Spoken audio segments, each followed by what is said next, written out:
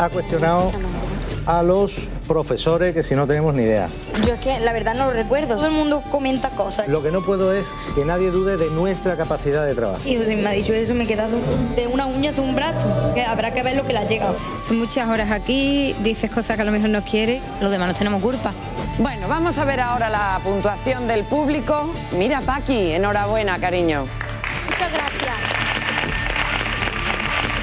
Paqui, lo que no hay que perder nunca es el- la educación.